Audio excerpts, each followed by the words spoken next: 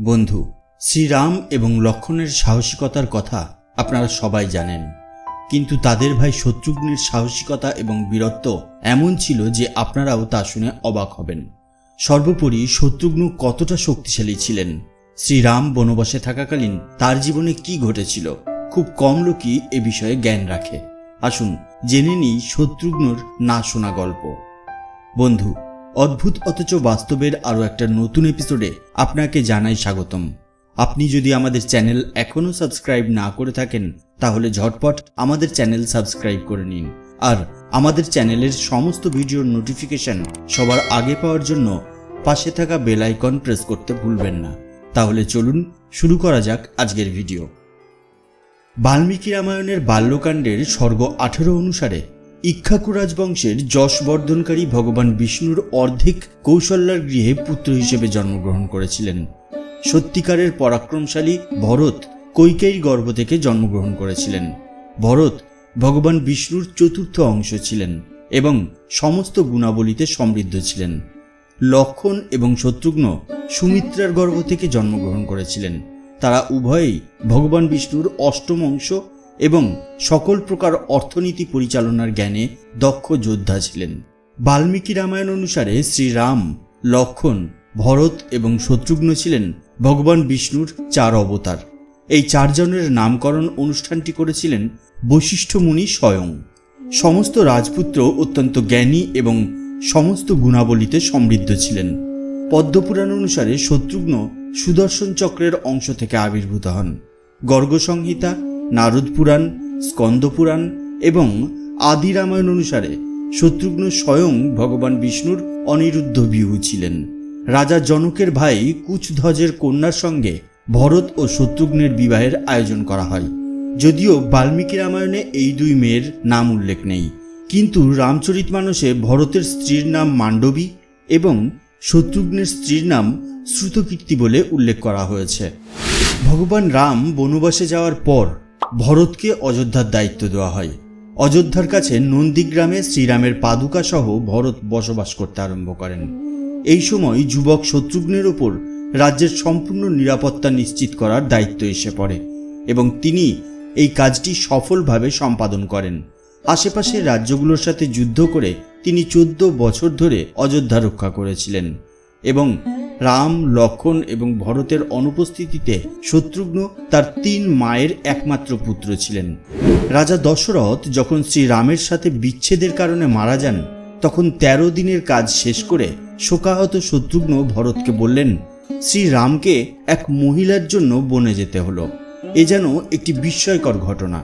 শত্রুঘ্ন যখন এই কথা বলছিলেন, তখন মন্থরা রানীর মতো বিভিন্ন পোশাক পরে এবং বিভিন্ন অলঙ্কারে সজ্জিত হয়ে সেখানে উপস্থিত হলেন।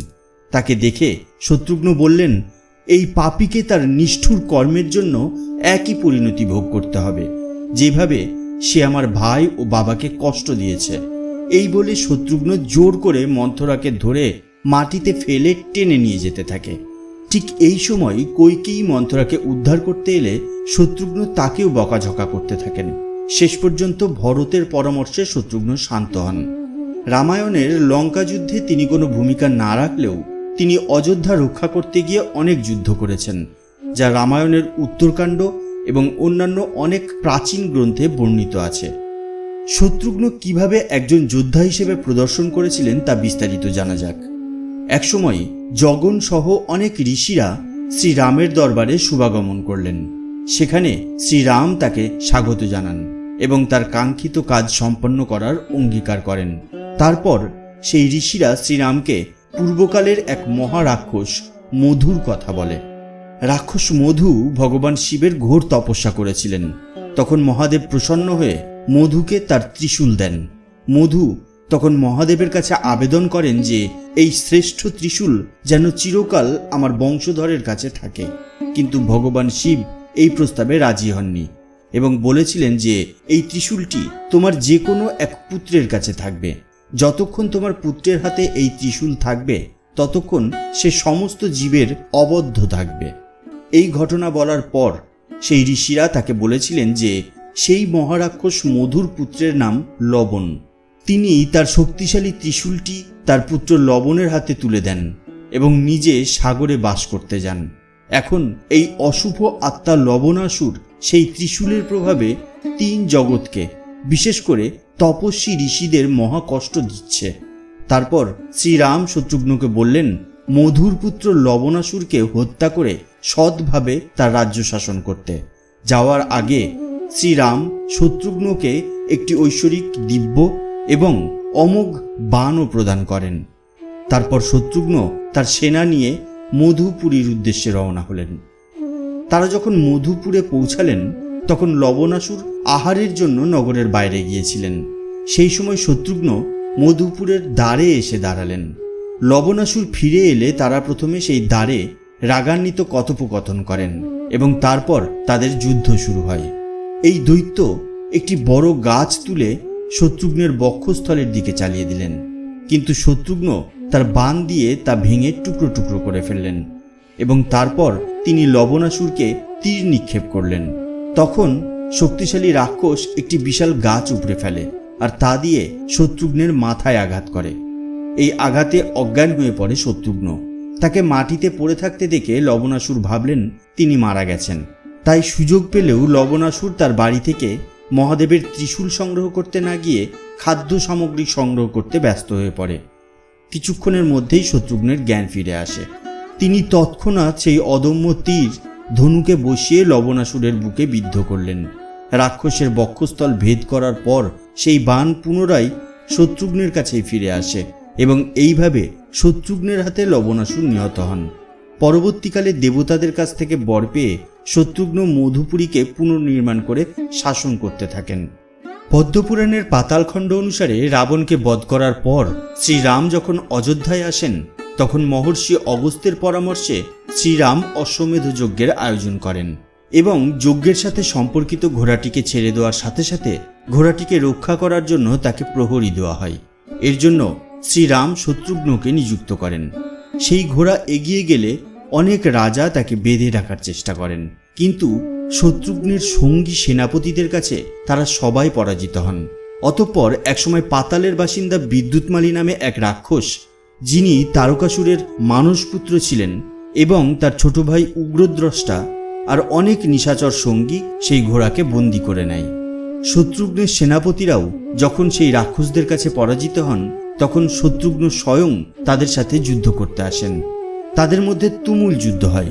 শেষ পর্যন্ত বিদ্যুৎমালী শত্রুঘ্নের উপর পাশুপতাস্ত্র ব্যবহার করেছিলেন, যা শত্রুঘ্ন নারায়ণাস্ত্র দিয়ে শান্ত করেছিলেন।